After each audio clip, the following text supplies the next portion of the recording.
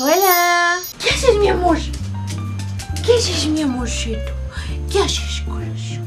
¿Quién te dio un beso aquí? Seguramente se va a ir en el momento en el que escuche mi voz a niveles bastante altos porque al parecer le estresa mi voz a veces, casi siempre. El día de hoy, el video... El video del día de hoy es uno muy emocionante porque también como el de la semana pasada, siempre en toda mi vida he visto este tipo de videos y nunca he hecho uno. Este es el primero que hago del estilo y este video como lo pudieron ver en el título es un haul. El haul del día de hoy va a ser de artículos de papelería escolares y un poquito de accesorios y disclaimer, antes de empezar todo esto, todas mis compras fueron hechas en el centro de la Ciudad de México. Pero si tú no eres de la Ciudad de México o de México, de todos modos hice una búsqueda bastante exhaustiva en Wish y algunas otras páginas de internet para que encuentres tú los artículos si no son exactos, muy parecidos. Y también cuando estuve dando unas vueltecillas por los centros comerciales, encontré unos artículos que son muy parecidos a los que voy a mostrar el día de hoy. Así que por ese lado lo tengo cubierto si las compras por internet no son lo tuyo, ¿ok? Así que bueno, vamos a empezar con el haul del día de hoy. Starcourt Mall.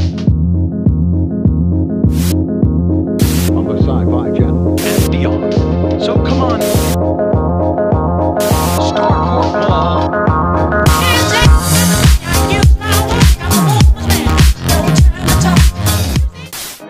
Vamos a empezar por las indicaciones. Primero vamos a identificar la calle José María Pino Suárez y el lugar más cercano es el Metro Pino Suárez. De ahí con dirección hacia el Zócalo se caminan dos cuadras a la calle Regina. Esta y Mesones son las calles en donde venden todo de papelería, pero yo en donde más compro es aquí. Se puede identificar porque la calle empieza con puestos ambulantes con cosas de papelería en la esquina y hay una zapatería Saga. Al principio de esta calle compré stickers, compré de varios diseños diferentes. Debo de admitir que no fueron de tan de mi agrado. Yo vi en el video de otra chica que también fue a este lugar que había conseguido unos stickers más padres que los que yo conseguí, pero pues a lo mejor por el día en el que fui no había muchos puestos ambulantes, pero pues escogí los que más me gustaron. Los compré para regalar o para pegar por ahí. También tengo una colección de stickers en mi computadora. Y pues sí, un pesito cada uno. Seguimos caminando por la calle Regina, por lo que podemos ver aquí en Maps casi no hay puestos ambulantes, pero por lo general los fines de semana está lleno aquí. Hay dos entradas de estacionamiento, una hacia arriba donde van los coches y otra hacia abajo. La que va hacia abajo es la que nos interesa. En la entrada de esta rampa, enseguida en los puestos primeritos compré dos paquetes grandes de foamy con diferentes colores. Me costó 30 pesos cada uno y ahorita no tengo ese foamy conmigo porque ya lo ocupé para los cuadernos que decoré hace un par de videos que si no has visto ese video te lo voy a dejar aquí en la i. Antes de ir ahí hice una lista de cosas que iba a necesitar y qué bueno que le hice porque debo de ser sincera, cuando entras ahí te pierdes entre tanta cosa porque hay puestos y puestos y puestos de gente vendiendo diferentes tipos de cosas pero también muchos tienen de lo mismo así que debes de ir poniendo atención, preguntando precios para ver cuál es el que más te conviene. En el primer puesto pregunté sobre Sharpies porque estaban en mi lista y compré dos, me costaron 20 pesos cada uno. Tienen dos puntas, una más gruesa y una más delgada. Es un decir porque las dos son delgadas. Ocupo estos plumones para muchas cosas y están muy bien de precio ahí. Ahí mismo en los plumones pregunté sobre una engrapadora de estrella. La quería para algunas decoraciones, pues cosas de papelería. Siempre es muy importante tener una de estas. Esta perforadora costó al parecer 25, 35 pesos. Tanto de corazón, osito, hay de muchas figuras. Caminando un poco más siguiendo el caminito hacia la derecha y luego a la izquierda. Es como un estacionamiento, ya empiezas a entrar y se siente algo claustrofóbico, mentir. Encontré dos puestos que me gustaron muchísimo. El primero fue en donde compré esta libretita de post-its. Esta está muy bonita. Me gusta porque es muy práctica. Tiene varias cosas en un espacio muy pequeño. Tiene una libreta que me sirve muchísimo para poner aquí listas de cosas que necesito hacer o que necesito comprar. También tiene post-its de los que son de plástico para separar hojas y post-its normales. Tiene una pluma y pues es muy práctico como para tenerlo todo en tu bolsa o mochila.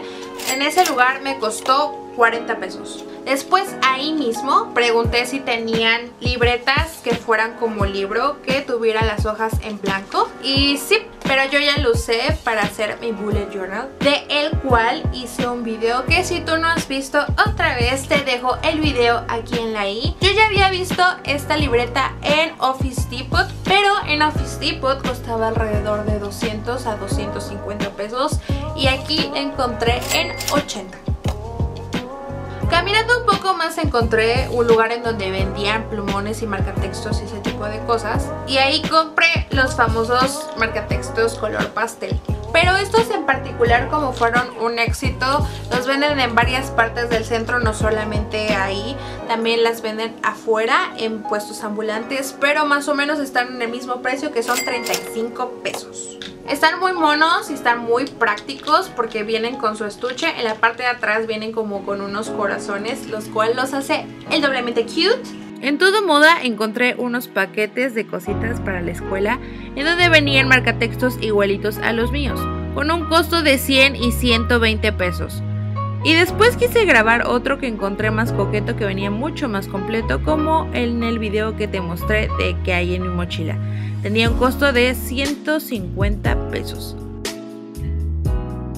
Después en la sección más pequeña de papelería encontré igual solamente que en bolsita y de hecho lo que a mi parecer encontré exactamente los mismos colores que en los míos pero en forma de bananitas y en bolsita. Tenían un costo de 60 pesos y encontré otras cositas más que me pareció padre compartir.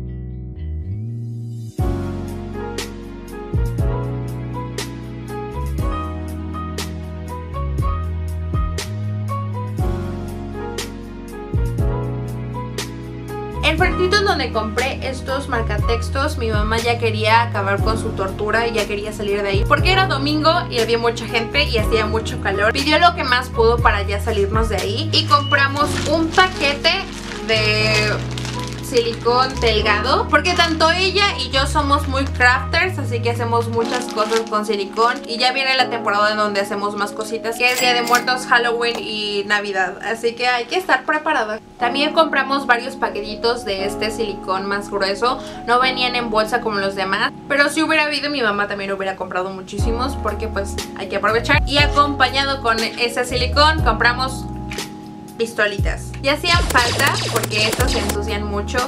Compramos esta grande en azul y esta amarilla chiquita para reemplazar según la anterior, pero pues no se ha ido. Ya después de ahí salimos, mi mamá pudo respirar un poquito y fuimos a la plaza que está a un lado. La que sí es plaza, no un estacionamiento. Ahí mientras que vas caminando vas encontrando hojas de diferentes tipos y grosores y cosas que no sabías que existían. Muchas cosas de arte. Y ahí fue donde compré esos dos paquetitos de pinceles. Primero esos planos que sirven para abarcar más superficie con la pintura. Son sintéticos. Y después estos pinceles finos para detalles muy diminutos. Esos tuvieron un costo de 20, 25, 30 pesos.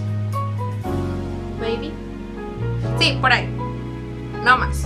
Luego más adentro de esa plaza vas entre pasillitos y hay un local en específico donde venden libretas tan increíblemente hermosas que yo no sabía qué comprar. Y bueno, no necesitaba nada, pero aún así compré una libreta. Es esta, está muy bonita. No lo había visto bien porque estaba en una bolsa. Yo había pensado que esto de aquí era un tocadiscos Pero no, es un gatito dentro de una maleta Pero no me disgusta, está bien. El diseño está muy bonito Tiene cactus y unos foquitos Y atrás el mismo diseño. Y tiene este apartado Que no sé bien para qué está Tal vez como para hacer listas de cosas que te hacen falta. Y por dentro el cuaderno está separado en secciones tiene estas pestañitas. No sé dónde estaba este cuaderno cuando tenía muchas materias en la universidad, porque así usaba los cuadernos, de este tamaño y de esta cantidad de hojas. Este era mi cuaderno perfecto, pero pues ya pasó, ¿qué se le va a hacer? Este cuaderno tuvo un costo de 75 pesos. Hubiera sido más barato, pero como lo compré mayoreo me subieron 10 pesos más. Y a un lado de ese lugar tan precioso compré este pincel de agua. Es para acuarela. Tiene su tapita y tiene este como cartuchito en donde tú lo rellenas con agua y mientras que lo vas utilizando lo vas apretando para que tú vayas dosificando la cantidad de agua y así puedas nivelar la intensidad del color. Yo había preguntado antes de este pincel en la entradita de la rampa y tenía un costo de 85 pesos pero ahí junto a los cuadernos en la plaza de un lado 65 y era de la misma marca, exactamente el mismo. Después compré dos silicón líquido, igual para mi video de los cuadernos. Había este grande y uno más chiquito. El chiquito costaba 6 pesos creo y estos me costaron 10.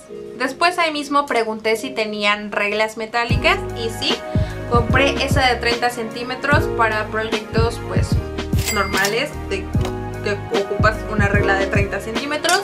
Y después compré esta de 20 Hay más chiquitas, pero esta me pareció perfecta para ocuparla en cuadernos Para no tener que estar manobreando con esta grandota. Después salimos de esa plaza y fuimos caminando por los puestos ambulantes entre mucha gente. Como ya mencioné fue en un domingo, así que sí, había mucha gente, muchos puestos.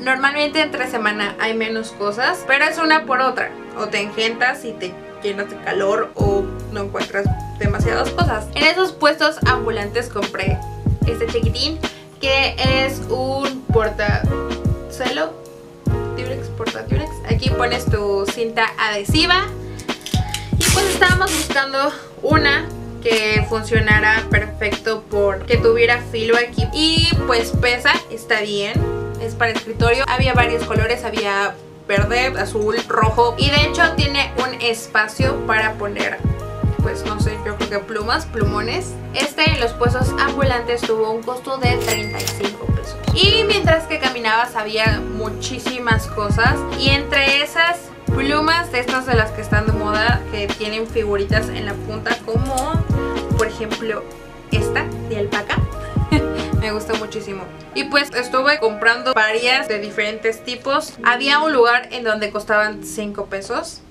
Ya sé. Y las que eran más especiales como estas, 15 pesos, depende de lo que tuviera. Después de recorrer caminando la calle Regina nos encontramos con la primera avenida, que es Correo Mayor. Di vuelta a la izquierda para seguir caminando hacia ese rumbo. Nos encontramos con la calle de Mesones, que es en donde podrás también encontrar muchas cosas de papelería. Derecho es donde encontramos el local en donde compré mi mochila. Aquí en Google Maps seguramente era tiempo de Navidad, así que por eso hay artículos de temporada, pero en el regreso a clases venden muchas mochilas de todo tipo. El día que compré mi mochila vi varios lugares porque fui con mi prima y ella era la que no se decidía por ninguna. Pero a mí luego luego me encantó mi famosa mochila que ya hice un video de qué hay en mi mochila. Si no lo has visto te lo dejo ya sabes, aquí en la I, tuvo un costo de 270 pesos. No mucho porque es muy práctica, tiene bastantes compartimentos y además está muy reforzada. En ese mismo lugar vendían esta estuchera que me costó 150 pesos. No había exactamente la misma que la rosa, pero es de la misma línea, nada más que de otro color, tiene el mismo interior y todo. Ahora me voy a regresar un poquito de donde venía caminando y en este otro local es en donde venden tazas y macetas. Fue en donde compré los siguientes dos artículos. En ese lugar fue cuando empezamos a hacer unas compras que no necesariamente eran de papelería. Compramos esta bolsa que es de mi mamá. Había de diferentes modelos. Había de México, no solamente de la Ciudad de México También había de Londres, Nueva York, pero nos gustó esta porque pues somos de la Ciudad de México. Es un material que le gusta mucho tanto a mi mamá como a mí. ¡Mamá! ¡Mami! ¿Tu bolsa es de yute? Sí, es de yute. Esta bolsa tuvo un costo de 89 pesos, o sea, 90 pesos. Ahí mismo compré esta preciosidad que tiene apariencia de ser una cámara antigua, pero no lo es. Vienen en pares y son para sostener los libros. Bueno, les voy a platicar que yo colecciono cámaras antiguas. No son tanto antiguas, no tengo ninguna del tipo, así que por eso me llamó mucho la atención. Tuvieron un costo de 200 pesos. Para las siguientes compras me fui caminando todo Correo Mayor con dirección hacia el Zócalo y pues ahorita no se ve así, no está en construcción nada. Y paramos hasta la calle Moneda. En este local fue en donde compré la segunda mochila y en todos estos locales más que hay en moneda puedes encontrar accesorios y otras cosas.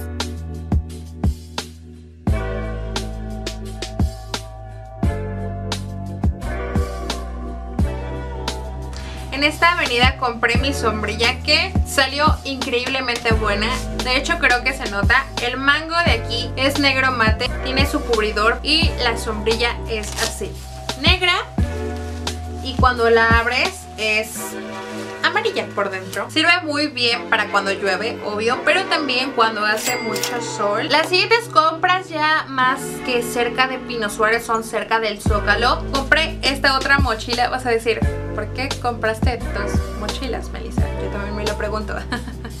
Primero había comprado esta, pero pues uh, no me aguantó, se rompió ya está cocida, ya está compuesta, pero para que lo sepan, si ven este tipo de mochilas no aguantan demasiado para quien carga muchas cosas. Algo muy particular de esta mochila es que no es una simple mochila, es una pañalera. ¿Cómo lo podremos saber? Te diré, tiene compartimento de mamilas.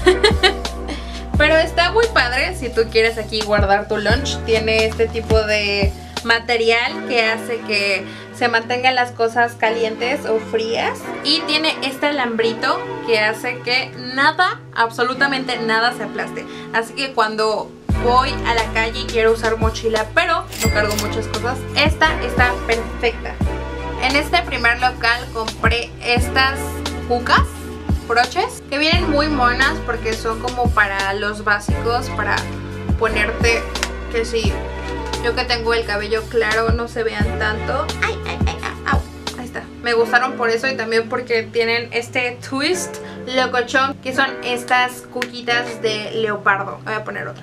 Y vienen sus dillitas a juego. Tuvieron un costo de 20 pesos. Y en este local también, pero ojo, debo de admitir que también en otros alrededor, no les podría decir qué broche en específico en qué local, pero es cosa de buscar y además si tú vas ahorita seguramente hay diseños diferentes. Compré estos broches famosísimos que estuvieron de moda en todas partes. Algunos venían solos, como por ejemplo este, que son más grandes. La mayoría tuvieron un costo de 15 pesos, algunos 20, algunos 10, como por ejemplo estos que ya son de los más básicos hice un video como tú puedes hacer estos tipos de clips pero en ese entonces no encontrabas esto en cualquier parte pero pues ahora lo encuentras en absolutamente todos lados o antes no era tan barato. Después de ese video no platiqué que estuve regalando esos broches a todo el mundo, así que me quedé otra vez yo sin ninguno.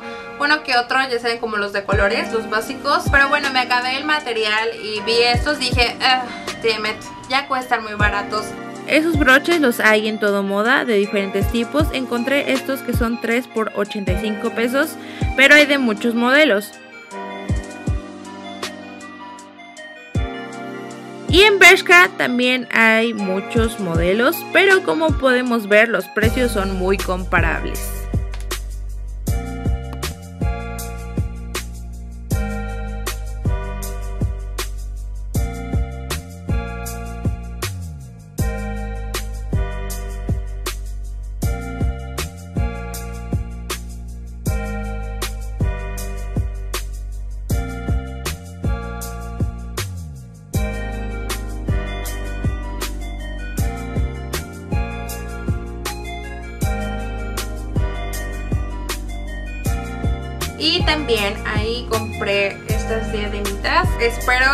De verdad espero usar porque luego compro este tipo de cosas. Si no me las pongo, pónganme ustedes en los comentarios y regañenme y díganme, Melissa, ponte más de tus cosas que compras en el cabello. y sí, compré estas dos. Esta es como de terciopelo, esta es de tela normal. Y estas tuvieron un costo de 10 pesos cada una. También ahí entre los puestos ambulantes compré estas donitas que son diferentes a las demás, tienen alrededor estos brillitos y pues yo soy como una burraca, todo lo que brilla me gusta. Después compré estos aretitos, ya los puse en su exhibidor para que los tenga a la mano. Quería que fueran pequeños porque los ocupo para los demás orificios que tengo en las orejas. Por lo general ocupo arete grande y después aretillo chiquillo. Los aretes tuvieron un costo de 13 pesos por la minita. Y por último quiero platicar que compré estos calcetines en unos puestos ambulantes. Me gustaron mucho porque son de cuadros famosos. Están estos que eh, son de El Beso. Están estos que son de El Grito. Y estos que son de La Mona Lisa tuvieron un costo de 45 pesos los tres pares. Y listo, creo que estas fueron todas mis compras en la Ciudad de México y pues ya me voy. Pero antes, la semana pasada se me olvidó porque soy bien lista. La pregunta que había dejado en el video anterior que fue en el de que hay en mi mochila. Pero hoy lo vamos a comentar. La pregunta que hice que pedí que me dejaran aquí abajo en los comentarios fue de... ¿Qué es lo más absurdo que cargas tú en tu mochila? Y hubieron respuestas muy padres que me gustaría compartir. Viene Karina Herrera Pérez comentó Lo más absurdo que cargo es mi folder con papeles que nunca ocupo Same girl, same. Llevo cargando todo el curso tareas del primer día, o sea, eso jamás me lo van a pedir, pero por si acaso. Odalis Castro. Lo más absurdo que llevo en mi mochila es un muñequito chiquito por si me encuentro a un niño llorando y dárselo. Oh, eso habla muy bien de ti, Odalis. Qué linda eres, quiero ser tu amiga. Seamos amigas. Azulito. Lo más tonto que llevo en mi mochila son unos zapatos lisos por si me canso, aunque nunca los saco por pena. Recuerda que siempre lo más importante es la comodidad, que te importa poco lo que digan los demás. Seguramente tú vas a estar más cómodo que todos y tú te vas a reír en su cara. Y la joya de la corona, literal, Gem, dice, cargo unas llaves de repuesto por si pierdo mis llaves. Perdón por mi paranoia. Debo de comentar que, wow, qué buena idea.